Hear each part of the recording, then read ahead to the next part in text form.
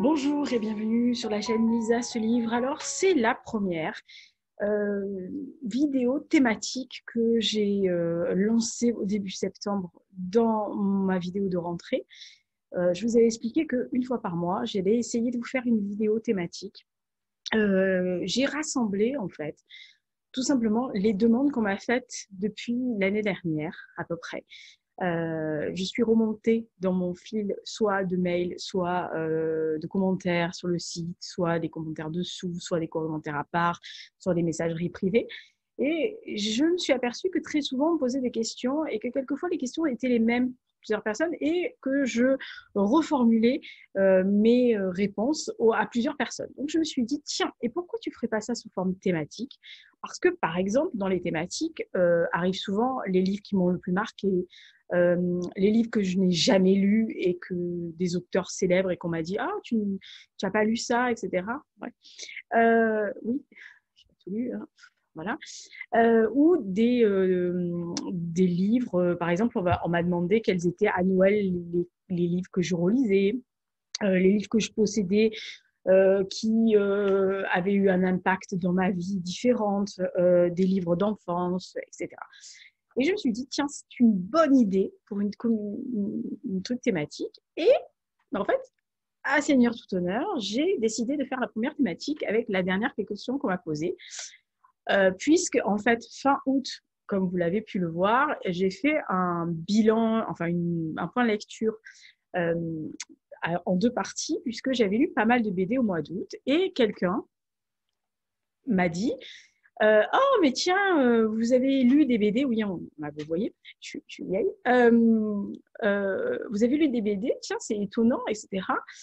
Et deux autres personnes en MP sur Instagram m'ont dit, mais c'est quoi le genre de BD que tu lis? Parce que là, c'était quand même assez thématique. Est-ce que tu lis d'autres BD que ça? Quels sont les BD que tu as aimés? Machin, etc. Alors, je me suis dit, tiens, je vais remonter sur la chaîne sur à peu près un an, un an et demi, et je vais voir à peu près les BD que j'ai pu présenter, peut-être, ou il y en a une ou deux que j'ai pas présentées, je crois, euh, sur la chaîne parce que je l'avais pas encore. Euh, quels sont les euh, BD que je pourrais dire, bah, tiens, sur la thématique, les BD que j'ai aimés, bah, je vais vous les présenter. Donc, ça, c'est les vidéos thématiques. Voilà. Donc, la vidéo prochaine, je sais à peu près sur quoi c'est parce qu'on m'a posé la question, on m'a dit quels étaient les livres qui avaient le plus compté. Pas forcément mes livres préférés, les livres qui ont le plus compté depuis que j'ai lu. Alors, je ne vais pas forcément les avoir tous sous la main pour vous les montrer, contrairement aux BD. Mais je ferai au mieux. Comme vous le savez, je n'ai toujours pas de logiciel qui tienne la route, donc je ne peux toujours pas incruster des photos. Donc, je me débrouillerai pour euh, rassembler les photos, de les mettre avant la vidéo et après pour que vous voyez à peu près les livres auxquels je parle, mais je pense que tout le monde connaît. Donc, voilà. Donc, on commence par les BD, sinon ça va durer trois quarts d'heure. Et ces vidéos thématiques sont censées ne pas durer plus de 20 minutes. Hein. Je vous dis tout de suite, là, on est mal parti, mais euh, c'est comme ça. Voilà, donc BD thématiques. Alors, je ne vais pas vous les montrer comme j'ai fait dans les points lecture. Premièrement, parce qu'elles pèsent 4, 4 plombes. Et deux, ça fait bouger l'écran, les BD.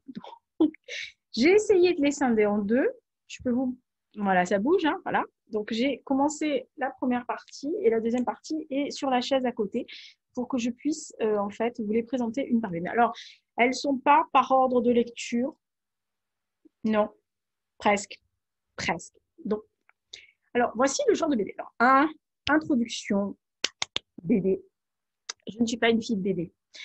Euh, comme tout le monde, j'ai lu Tintin, Astérix, euh, Corto Maltese, euh, Black et Mortimer, mais ça c'est parce que mon papiné était fan, qui aime beaucoup les BD d'ailleurs. je pense que les Corto Maltese, les Black et Mortimer, Spirou et toute la clique, je pense que je, Lucky Luke, Tintin, je pense que je les ai lus grâce à lui, en tous les cas parce qu'il les avait et qu'il me les a donnés.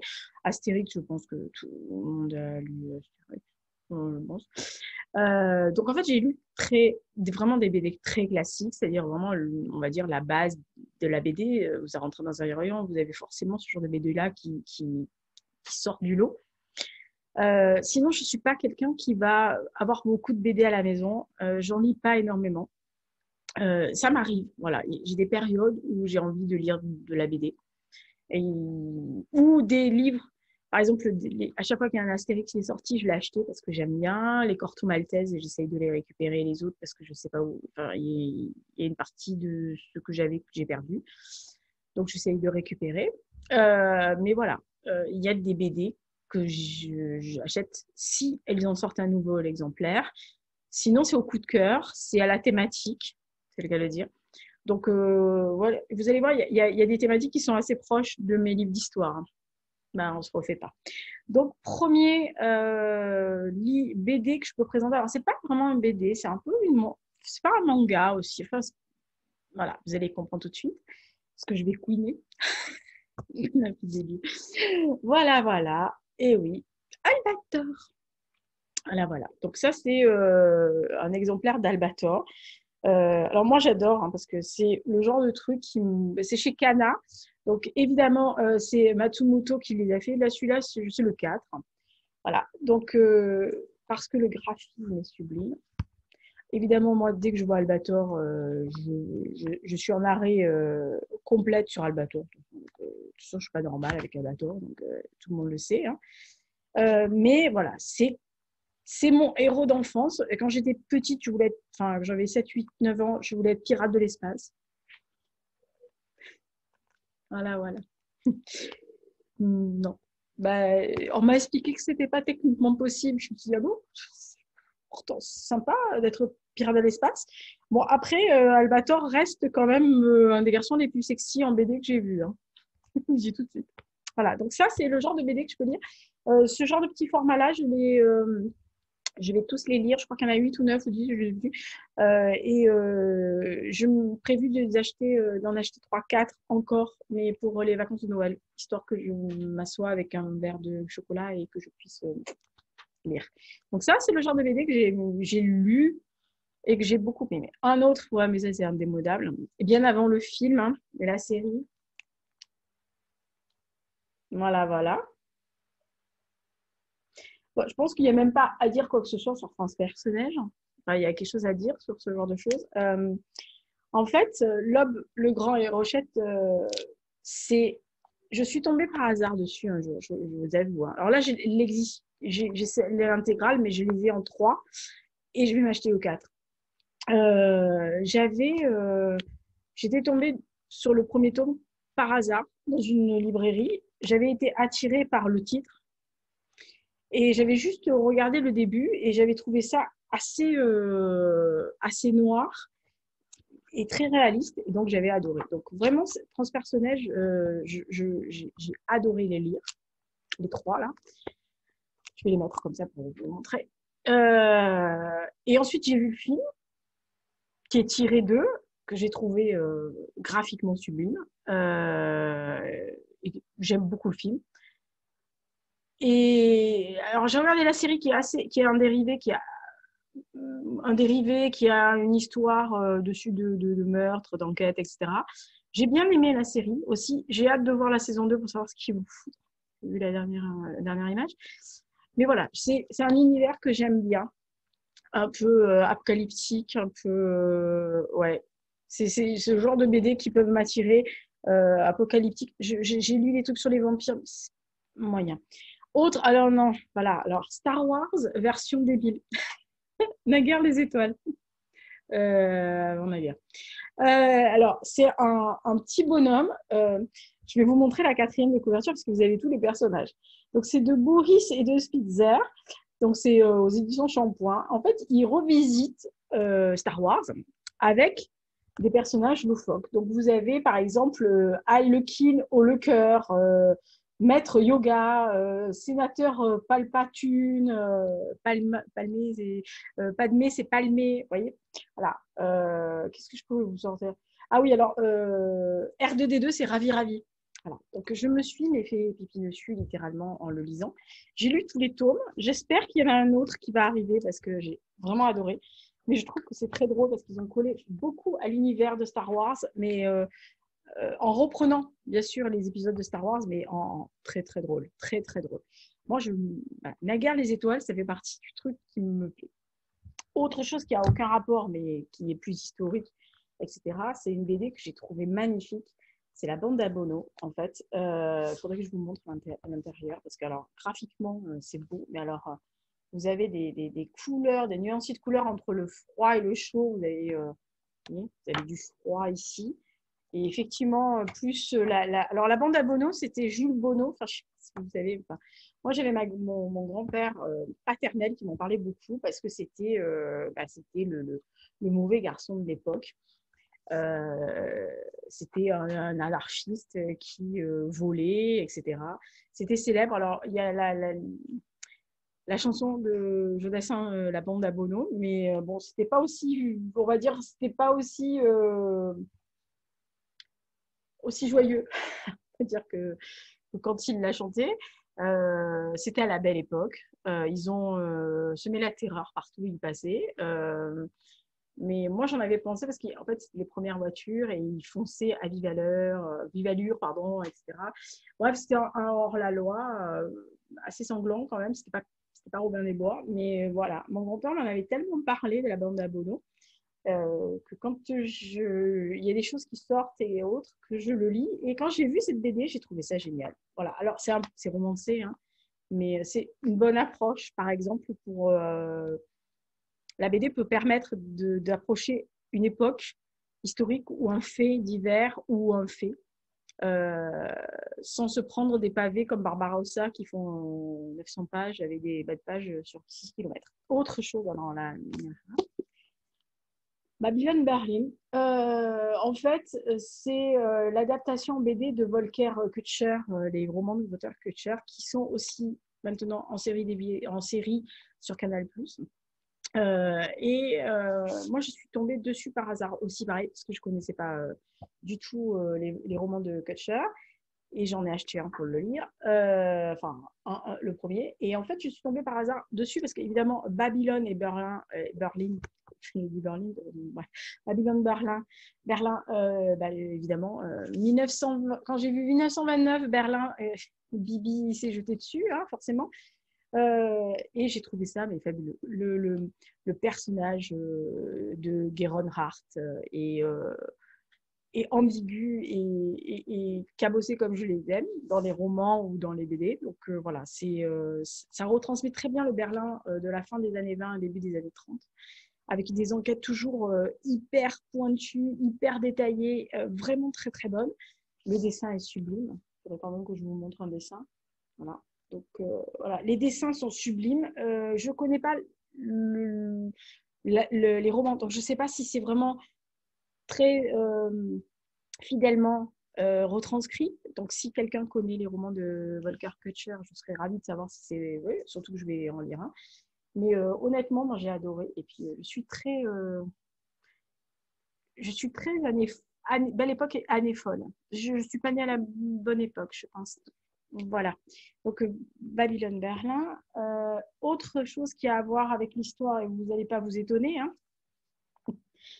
Voilà, le rapport W. En fait, c'est un rapport W et quelque chose qui existe que j'ai lu en pavé, hein, en vérité. Donc, ça, c'est la version euh, bah, BD. Donc, y a pareil, ton chaud pour certaines choses, les prisonniers, ton froid pour tout ce qui est à Auschwitz, puisque en fait, bah, ça se passe à Auschwitz. Donc, il y a des tons gris, euh, ça passe de ton gris à ton très très froid suivant les, trucs. Donc, je vous montre la couverture parce qu'elle est, vraiment très très belle. En fait, c'est un. Pilewski, c'est un, officier de l'armée euh, secrète polonaise qui s'était infiltré, euh, je crois, en septembre 40.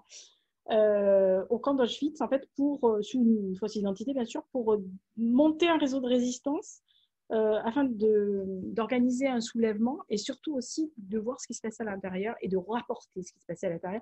Malheureusement, ça ne s'est pas passé véritablement comme il l'avait prévu. Euh, c'est magnifique. Voilà. Alors, le rapport est, exigeant, mais est très, très beau. Alors, à la fin, il y a ce que j'aime, il y a une explication. C'est-à-dire, on va dire l'histoire pour, pour des gens qui ne connaissent pas trop. il y a les dessins que l'auteur en fait a fait un repérage avant de faire sa BD, donc à Auschwitz. Donc moi, euh, le rapport W, je l'avais présenté sur la chaîne. J'essayerai de vous mettre la vidéo où j'en parle un peu plus, si j'y pense. Euh, mais franchement, c'est voilà, c'est l'histoire traitée en BD qui peut aussi, comme je le disais tout à l'heure, qui peut vous amener à découvrir une partie d'histoire euh, sans que ça soit trop rébarbatif ou trop euh, scolaire ou euh, quelque chose qui trop romancé, vous allez rien comprendre ou vous allez vous dire oh là là non c'est trop romancé, c'est pas la vérité. Voilà, ça c'est tiré d'un rapport qui est historiquement vrai. Donc voilà, il a fait un travail formidable et aidé par un par une, historienne aussi donc et qui s'y connaît sur ce, cette partie-là du rapport. Autre BD historique qui a un rapport, c'est Le voyage de Marcel Grob qui lui parle en fait euh, des malgré nous. Donc, ces Alsaciens euh, qui ont été euh, enrôlés soit dans la SS, soit dans la Wehrmacht, etc. Là, ça parle d'un vieux monsieur qui a 83 ans, qui est convoqué par un juge qui lui demande de s'expliquer sur ses actions qu'il a faites. Et il va lui dérouler ce qu'il a fait, comment il en est arrivé à être dans la SS. Et il va dérouler l'histoire des malgré nous. Donc, ça fait partie des points d'histoire que j'aime bien euh, sur la Seconde Guerre mondiale parce que ce pas des, points qui sont vraiment toujours traités énormément ou profondément. Et euh, là, pareil, le voyage, moi je trouve, vous voyez, quand il est dans, les, dans la section d'élite, en tous les cas dans les, dans les, dans les trucs d'élite et dans l'école pour devenir un SS, et petit à petit. Voilà. Donc c'est vraiment du, très beau dessin. aussi, voilà, c'est vraiment quelque chose qu'il faut. Moi, le dessin, s'il n'est pas beau, si graphiquement il ne me plaît pas, voilà. Pour les scènes de bataille, il y a de l'ocre. Donc, euh, le voyage de Marshall Gombe, si vous ne connaissez pas du tout, euh, franchement, c'est quelque chose que vous. Voilà, si vous avez vraiment envie de savoir un peu plus sur le Malgré-nous que vous ne connaissez pas, ça peut euh, être quelque chose d'intéressant à lire. Et on va finir par trois. Alors, je vais vous faire les, le dernier rigolo en dernier, parce que comme ça, ça vous fera partir sur un truc un peu plus joyeux. voilà. Dans la, collection Mémoire 3945 euh, donc, euh, de chez Paquet, euh, il y a ce premier tome de l'Africa Corps. Il y a personne qui sera étonné que j'aille regarder ça puisque c'est Rommel. de Olivier Spencer, qui en fait a fait ces quatre tomes sublimes de l'armée de l'ombre sur le front russe. Voilà. Donc j'ai hâte qu'il sorte le deuxième tome. Je crois qu'il est prévu pour novembre celui de l'Afrique à Corse. Mais c'est une petite merveille. Les dessins sont sublimes. Pour moi, l'armée de l'ombre, c'était un coup de cœur, je vous l'ai dit en point euh, BD cet été. Mais l'Afrique à Corse est euh, vraiment incroyablement bien fait. Après, je suis très chiante hein, quand on vient à certaines périodes d'histoire et à certains personnages d'histoire et certains que je connais bien. Mais là, j'ai rien à reprocher, même si, comme je le dis souvent, quand c'est un roman et je suis en train de finir un premier tome d'un roman qui se passe l'espionnage pendant la Seconde Guerre mondiale en Suisse, entre la Suisse et la France. Et j'ai apprécié que l'auteur vous explique qu'effectivement, il s'est basé historiquement, machin, mais qu'il a pris des libertés avec, qu'il le dise au début, euh, contrairement à d'autres, euh, et qu'il. Euh, voilà. Donc après, vous savez que c'est une BD, il le dit d'entrée de jeu qu'il s'est appuyé sur une bibliographie, il y a beaucoup, beaucoup de choses.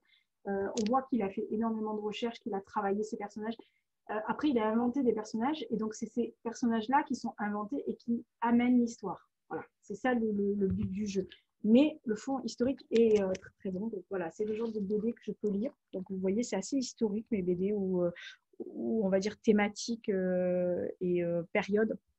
Et évidemment. Voilà, voilà. Alors pour ceux qui me suivent sur Insta, ils ont vu qu'en story j'avais couiné à la couverture de, de première avec Camelot. Bah, c'est pas étonnant parce que voilà. Oui, alors Naguère les étoiles et Camelot. Vous voyez, je comment dire? Camelot, c'est tiré donc de la série de Alessandre Astier. Astier. Euh, oui, on a les dieux qu'on veut, hein Voilà, donc euh, voilà. ben oui, toutes les productions d'Astier me plaisent beaucoup. Voilà, euh, que ce soit euh, le premier, que ce soit Exoplanète, etc. Enfin, Exoconférence, etc. j'aime son humour, j'aime la façon dont il fait. Donc, euh, je suis Monsieur Asti. et Carlotte aussi. Et donc, le film sortira bientôt, enfin, j'espère. C'est avec grand bonheur. Donc moi, je m'amuse beaucoup et c'est le genre de BD, comme je vous dis. Il y a des BD humour avec Naguère, les étoiles et Cablotte. Il y a Albator qui est mon côté enfance. Il y a la bande à de la belle époque, donc c'est la belle époque. Il y a après les Babylone Berlin, l'armée de l'ombre, Africa Corps, le rapport W, le, voyage Marcel Grob, etc. Ça, c'est plus pour mon côté historique. Voilà les genres de BD que je peux lire.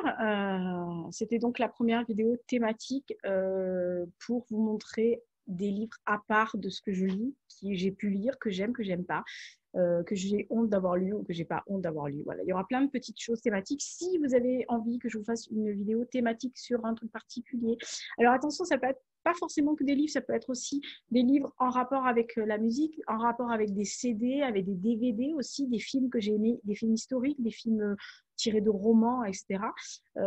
N'hésitez pas dans les commentaires, vous me dites oh, j'aimerais bien avoir une vidéo thématique sur ça.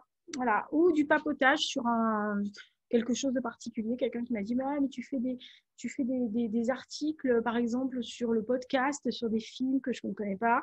Oh, j'aimerais bien que tu le fasses en vidéo aussi. Donc, si un jour, dans la vidéo thématique, vous avez envie que je vous fasse une vidéo thématique de films, par exemple, euh, musicaux, euh, comédie musicale que j'aime ou romantique, bah, je le ferai avec plaisir. Il y en a qui vont se moquer. Merde, ah, je n'aurais pas dû dire ça. Allez, je vous laisse et puis euh, bah, écoutez, à la prochaine.